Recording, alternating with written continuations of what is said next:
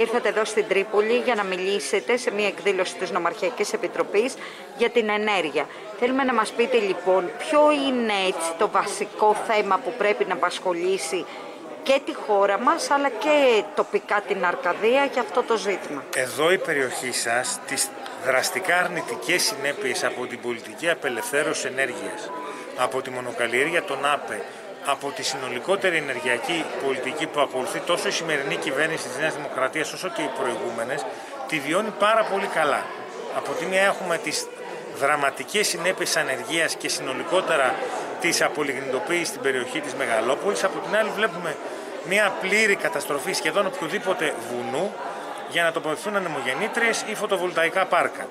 Αυτή λοιπόν η πολιτική έχει συγκεκριμένο όνομα και επίθετο. Είναι η πολιτική της απελευθέρωσης ενέργειας, η πολιτική η οποία με πρόσχημα την προστασία του περιβάλλοντος και την προστασία από την κλιματική αλλαγή υλοποιεί και προκρίνει ένα μεγάλο project, αν θέλετε, κεντρικό στόχος του οποίου είναι να δημιουργηθούν νέα πεδία κερδοφορίας για το μεγάλο κεφάλαιο, να βρεθούν χώροι που μπορούν να επενδύσουν μεγάλοι επενδυτές στον κλάδο της ενέργειας και οι χώροι αυτοί για να βρεθούν πρέπει να φύγει από τη μέση ε, να φύγουν τη μέση ελληνική σταθμή όπως η σταθμή της Μεγαλόπολης και της Τολεμαίδα για να μπορέσουν να προχωρήσουν σχετικές επενδύσεις. Αυτό λοιπόν που βιώνετε εσείς εδώ στην Αρκαδία είναι η μία πλευρά του νομίσματος, η απολυνητοποίηση, η καταστροφή του περιβάλλοντος με πρόσχημα την προστασία του. Η άλλη πλευρά του νομίσματος είναι οι τεράστιες, οι δραστικά αυξημένες τιμές της ηλεκτρικής ενέργειας που πληρώνουμε σε ολόκληρη τη χώρα, τις οποίες, μέσα από τις οποίες εμείς οι λαϊκοί καταναλωτές πληρώνουμε τα τεράστια κέρδη αυτής της χούφτας των μονοπωλιακών ομίλων που κερδίζουν. Αυτό λοιπόν το οποίο πρέπει να μας απασχολήσει είναι πώς ακριβώς η ενεργειακή πολιτική της Νέας Δημοκρατίας και του ΣΥΡΙΖΑ, γιατί είναι ίδια και απαράλλακτη η ενεργειακή πολιτική και των δύο κομμάτων, είναι μια πολιτική που έχει όλους εμάς χαμένους, είτε ως καταναλωτές πληρώνουμε πανάκριβο ρεύμα, είτε ως κατοίκους μεγαλόπολης που βιώνουμε την απολυνητοποίηση, είτε ως κατοίκους οποιασδήποτε περιοχής της χώρας, που βλέπει μια δραματική καταστροφή του περιβάλλοντος για να μπουν ΑΠΕ, με μοναδικό στόχο μια χούφτα εταιρείες, η μεγάλη ενεργειακή κολοσσή στην Ελλάδα και διεθνώς που παράγουν τις ανεμογεννήτρες και τα φωτοβολταϊκά να βγάλουν δισεκατομμύρια ευρώ κερδών. Είναι λοιπόν μια τρανταχτή απόδειξη του πώς η εμπαρευματοποίηση της ενέργειας ή συνολικότερα ο καπιταλιστικός δρόμος ανάπτυξης έχει όλους εμάς χαμένους για να κερδίζουν μια χούφτα όμιλη, μια χούφτα μεγάλες εταιρείες. Εμείς ως ΚΚΕ επιμένουμε, επιμένουμε να φωτίζουμε αυτή την πραγματικότητα, να αποκαλύπτουμε τις πραγματικές αιτίες πίσω από την περιβόητη ακρίβεια στα καύσιμα και στην ενέργεια, που οι αιτίες είναι η εμπορευματοποίηση της ενέργειας, είναι η πολιτική της πράσινης μετάβασης, είναι η πολιτική που Νέα Δημοκρατία και ΣΥΡΙΖΑ ακολουθούν χέρι-χέρι, να καλούμε τους εργαζόμενους να αντισταθούν στην πολιτική αυτή με κάθε τρόπο, να αντισταθούν στα, στον αστικό σχεδιασμό για την ενέργεια, στο σχεδιασμό της απολυνητοποίησης, στο σχεδιασμό που μετατρέπει κάθε βουνό σε βιομηχανική ζώνη, έχοντας ξεκάθαρο ότι πραγματικός αντίπαλος είναι ο ίδιος ο αστικός σχεδιασμός, το ίδιο το κίνητρο του κέρδους και γι' αυτό το λόγο οι αγώνες αυτοί πρέπει για να έχουν ένα ουσιαστικό αποτέλεσμα να σημαδεύουν αυτόν τον πραγματικό αντίπαλο. Ω Κεντρική Επιτροπή του ΚΚΕ, καλούμε λοιπόν τους εργαζόμενους να οργανώσουν την πάλη τους, μπαίνουν μπροστά στην οργάνωση αυτής της πάλης, φωτίζοντας ότι αυτή η πάλη για να έχει συνέχεια, συνέπεια και προοπτική πρέπει να χτυπά τον πραγματικό αντίπαλο και να συγκεντρώνει δυνάμεις για την πραγματική αντεπίθεση των εργαζόμενων. Επειδή είναι δεδομένο ότι οι λιγνητικές μονάδες στη Μεγαλόπολη κλείνουν, έτσι, τι πιστεύετε ότι πρέπει να διεκδικήσει η συγκεκριμένη περιοχή ώστε να μην καταστραφεί; Πρέπει να μάθουμε να σκεφτόμαστε out of the box, όπως λένε οι Εγγλέζοι. Αν ξεκινήσουμε ότι είναι δεδομένο ότι έχουμε χάσει, αν ξεκινήσουμε ότι έχουμε ως δεδομένο ότι θα κλείσουν οι μονάδες, αν ξεκινήσουμε ότι είναι ως δεδομένο ότι εμείς θα είμαστε από κάτω και θα πρέπει σε κάθε χρονική στιγμή να παρακαλάμε ή να πιέζουμε κάτι τους από πάνω να μας δώσουν, θα βρισκόμαστε συνεχώς χαμένοι. Εμείς λοιπόν, σαν ΚΚΕ, λέμε δεν υπάρχει τίποτα δεδομένο. Οι εργαζόμενοι έχουν τη δύναμη να επιβάλλουν οποιαδήποτε λύση θέλουν όταν πάρουν την κατάσταση στα χέρια τους.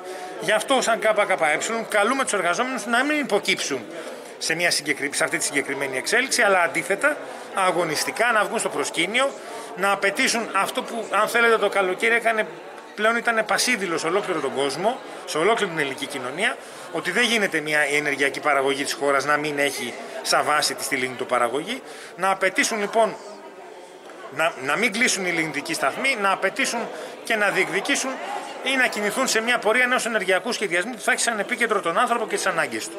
Σας καλωσορίζουμε στην απόψινή μας εκδήλωση που οργανώνει το ΜΕΑΚΗ Επιτροπή Αρκαδίας του ΚΚΕ για να μιλήσουμε για τις εξελίξεις στον τομέα της ενέργειας, το πρόγραμμα της λεγόμενης δίκαιης μετάβασης.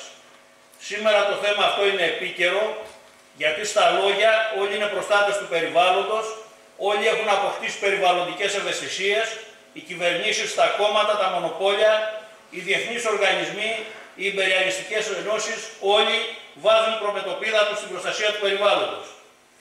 Όλες οι διακηρύξεις και οι σχεδιασμοί αρχίζουν και τελειώνουν με τη χρηματοδότηση παρεμβάσεων και ενεργειών για την προβολή της αναγκαιότητας στο όνομα της προστασίας του περιβάλλοντος να γεμίσουν τα βουνά ανεμογεννήτριες και οι κάμποι φωτοβολταϊκά. Έρχονται όλοι μοιράζοντας τα καθεστάκια της δίκαιης μετάβασης στη μεταλλιγνητική εποχή.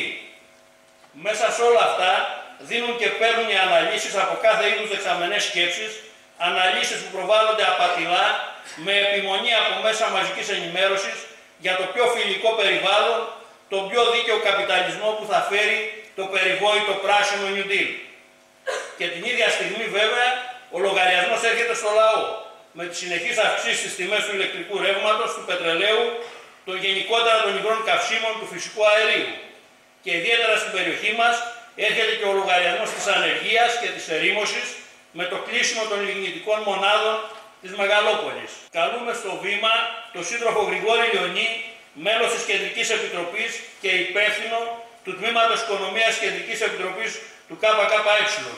Όπου σε όλη την Ελλάδα αλλά και εδώ στην περιοχή σας, το ζήτημα της ενέργειας είναι ένα ζήτημα που βρίσκεται κυριολεκτικά στο επίκεντρο του ενδιαφέροντος, σε μια περίοδο όπου συζητήσεις για το ποιο είναι το βέλτιστο ενεργειακό μείγμα, τι θα γίνει με τις επενδύσεις στην ενέργεια από τη, με τις αποεπενδύσεις στην ενέργεια από τη Μεγαλόπολη και του, του Ελεμαΐδα μέχρι τις νέες επενδύσεις στην πράσινη ενέργεια, σε μια περίοδο όπου Νέα Δημοκρατία και ο ΣΥΡΙΖΑ διαγωνίζονται, τσακώνονται μεταξύ τους για το πιανού το μείγμα θα είναι πιο πράσινο, για το ποιος θα υλοποιήσει με πιο επιθετικό και πιο γρήγορο τρόπο το ζήτημα των νέων επενδύσεων στην πράσινη ενέργεια.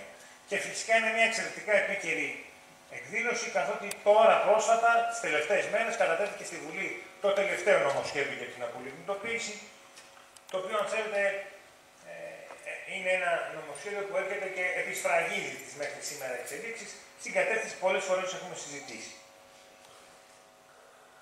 Τι μας υπόσχονται, όλοι αυτοί που διαγωνίζονται και μας λένε ότι το μέλλον είναι η πράσινη ενέργεια και οι πράσινες επενδύσεις, υπόσχονται ότι αυτή η λογική, αυτή η πολιτική, αν θέλετε, μπορεί να ικανοποιήσει πολλαπλά και σύνθετα τις ανάγκες όχι μόνο των εργαζόμενων στις διάφορες περιοχές της χώρας, αλλά του λαού της Ελλάδας συνολικότερα.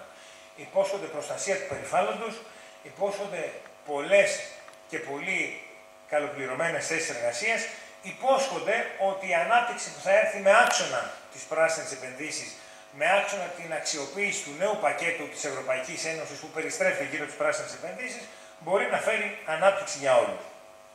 Και θα περίμενε κάποιος όλη αυτή η συζήτηση. Θα περίμενε κάποιος όλη αυτή η ζέση, αν θέλετε, τώρα της Νέας Δημοκρατίας, όσο και του ΣΥΡΙΖΑ παλιότερα, για το περιβάλλον, την προστασία του και για το πώς οι επενδύσεις αυτές μπορούν πραγματικά να τονώσουν την οικονομική δραστηριότητα, να έχει κάποιο θετικό αποτέλεσμα. Νομίζω είναι καλύτερα έτσι, ναι. Θα περίμενε κάποιο θα περίμενε κάποιος πραγματικά κάποιο θετικό αποτέλεσμα από αυτές τις εξελίξεις. Η αλήθεια, η πικρή όμως αλήθεια είναι τελείως διαφορετική.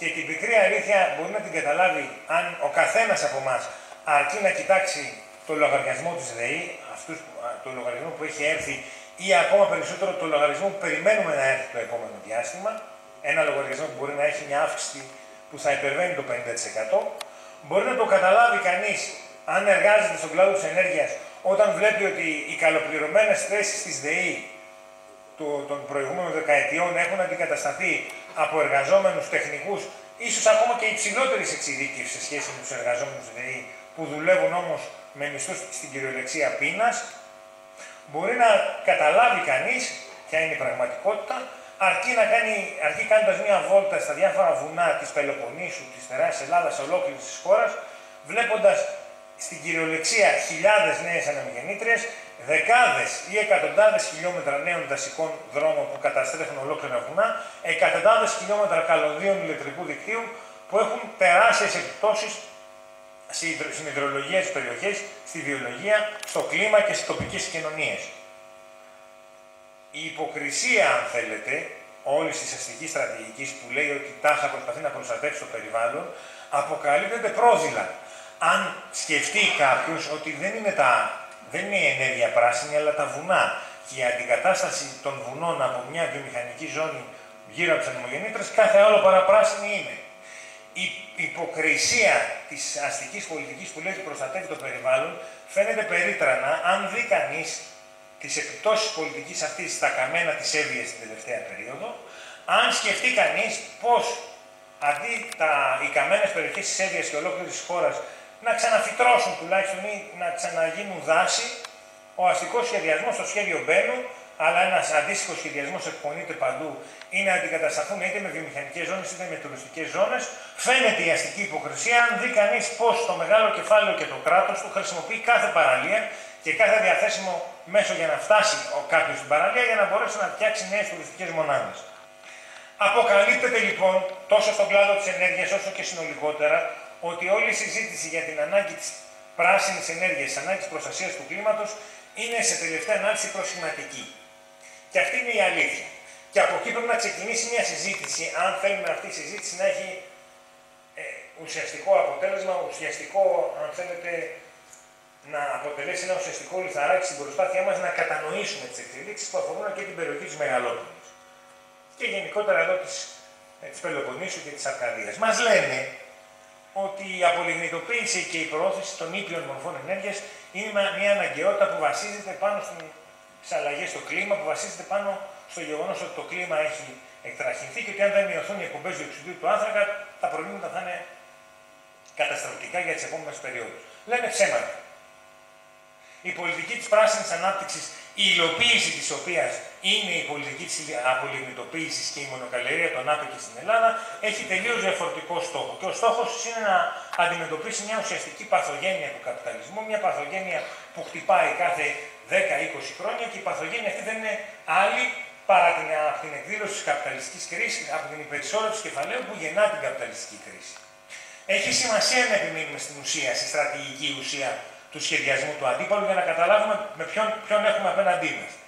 Να καταλάβουμε δηλαδή ποιον έχουμε απέναντί μας τα τελευταία 25 χρόνια και για ποιο λόγο τα τελευταία 25 χρόνια όλη η πολιτική προσπάθεια που γινόταν ήταν μια προσπάθεια που τελικά έλεγε εντάξει, ας αποδεχθούμε την κατάσταση ως έχει και ας προσπαθήσουμε κάπως να τη ε, διαμορφώσουμε. Και θα έρθω αυτό στη συνέχεια. Έχει όμως σημασία να σταθούμε στο στρατηγικό άξονα του αντίπαλου. Και ο στρατηγικός άξονας του αντίπαλου είναι πώς θα μπορέσει με ποιο μηχανισμό θα μπορέσει να αντιμετωπίσει το ζήτημα υπερσόρευση κεφαλαίους διεθνώς. Όταν λέμε υπερσόρευση κεφαλαίους, μερικές φορές μπορεί να σκεφτεί κανείς ότι είναι ένα τεχνικό θέμα, δεν μας ενδιαφέρει. Αν δείτε τα στατιστικά μιας μεγάλης εταιρείας, όπως η Apple, είναι ένα αγαπημένο μου παράδειγμα, θα δείτε ότι έχει 125 δισεκατομμύρια δολάρια αδιάθετα αποθεματικά, δεν έχει τι να τα κάνει. Αυτό δείχνει πόσο καλύτερα είναι η Apple, αλλά δείχνει ότι δεν μπορεί να επενδύσει τα 125 δισεκατομμύρια δολάρια και κάτι πρέπει να τα κάνει. Και αυτό δεν αφορά μόνο την Apple, αυτό αφορά όλες τις μεγάλες εταιρείες ολόκληρο τον κόσμο. Όταν λέμε κρίση υπερσόρευση κεφαλαίου του 8 και του 19-20, είναι το ίδιο φαινόμενο. Ο καπιταλισμός προσπάθησε να το αντιμετωπίσει και ως έναν βαθμό το έλυσε ή το αντιμετώπισε τις τελευταίες δύο δεκαετίες και πώς το έκανε, έκανε ιδιωτικοποιήσεις παντού, γι' αυτό γίνανε ιδιωτικοποιήσεις για να βρεθούν νέοι χώροι για να επενδυθούν τα κεφάλαια, μείωσε το εργατικό κόστος, το κόστος για αυτούς. Εμείς δεν το θεωρούμε εργατικό κόστος, αλλά μείωσε τους μισθούς το εργατικό κόστος για το κεφάλαιο, προχώρησε σε μεταρρυθμίσεις. Εδώ στην Ελλάδα τις προχώρησε χρησιμοποιώντας τα μνημόνια. Αλλού με άλλο μηχανισμό δεν έχει σημασία. Αλλά αυτό έκανε. Όμως αυτό δεν έφτασε. Η πολιτική των μνημονίων, η πολιτική χτυπήματο των εργατικών λαϊκών δικαιωμάτων τα τελευταίες δύο δεκαετίες ήταν ανεπαρκής για να λύσει το πρόβλημα υπερσόρευση κεφαλαίου. Και η λύση που ήρθε ήταν η λύση, η περιβόητη λύση της πράσινης μετάβασης το Green New Deal, η νέα πράσινη κοινωνική συμφωνία. Η πολιτική του πράσινου New Deal πιάνει συνολικότερα, δεν πιάνει μόνο την ενέργεια, πιάνει τις μεταφορές, πιάνει τα σπίτια, αλλά στην ενέργεια η, πρασινή, η πολιτική του πράσινου New Deal τι λέει; Λέει καταστρέψτε τη λιγνητική παραγωγή που ήταν η βάση για την ηλεκτροπαραγωγή όχι μόνο στην Ελλάδα, στην Ελλάδα, στην Ευρώπη, στη ΣΥΠΑ, σε πολλά μέρη του πλανήτη και κάντε μια αντικατάσταση αυτής με νέες ή ποιότερες υποτίθεται μορφές ενέργειας όπως η ΑΠΕ, οι ανεμογεννήτρε, τα φωτοβολταϊκά και πάει λέγοντας.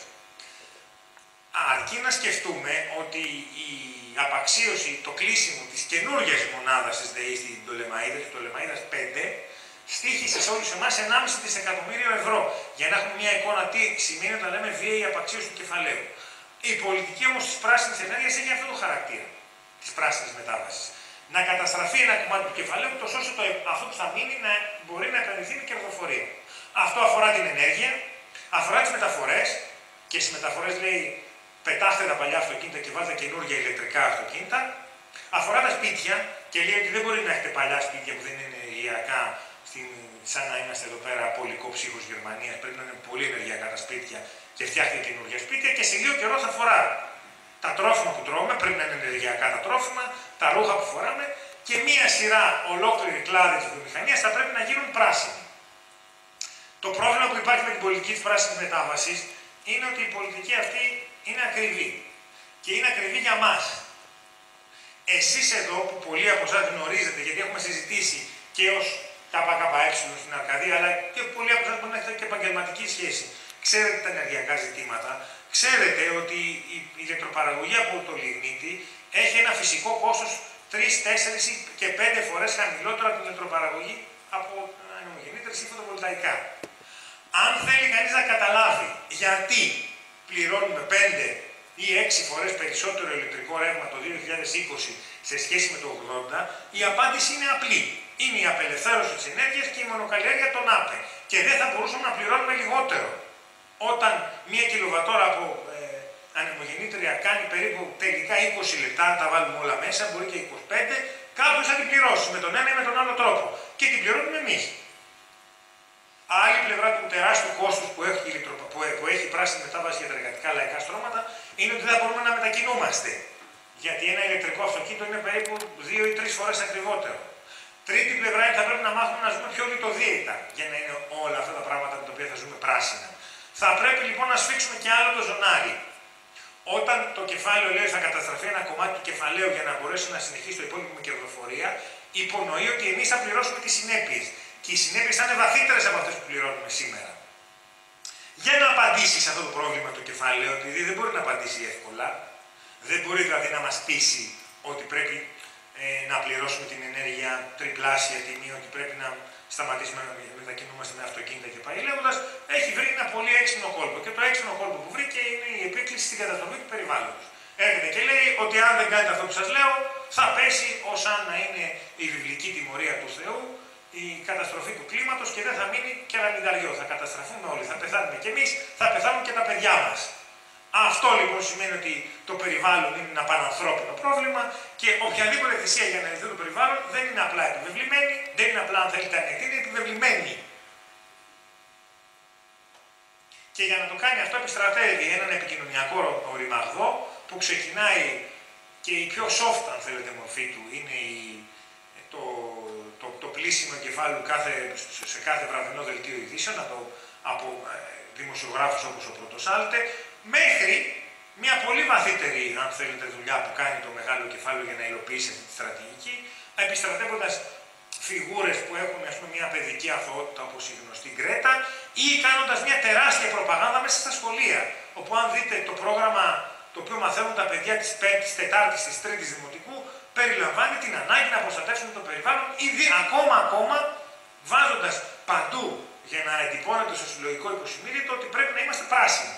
Από το πόσο πράσινα είναι, πόσο ωραία είναι βουνά, τα βουνά με ανεμογεννήτρε ακόμα και σε παιδικά παιχνίδια, μέχρι σε μια συζήτηση η οποία δεν είναι πράσινο, δεν είναι ντεμοντέ, είναι πασέ, είναι κάτι του παρελθόντος.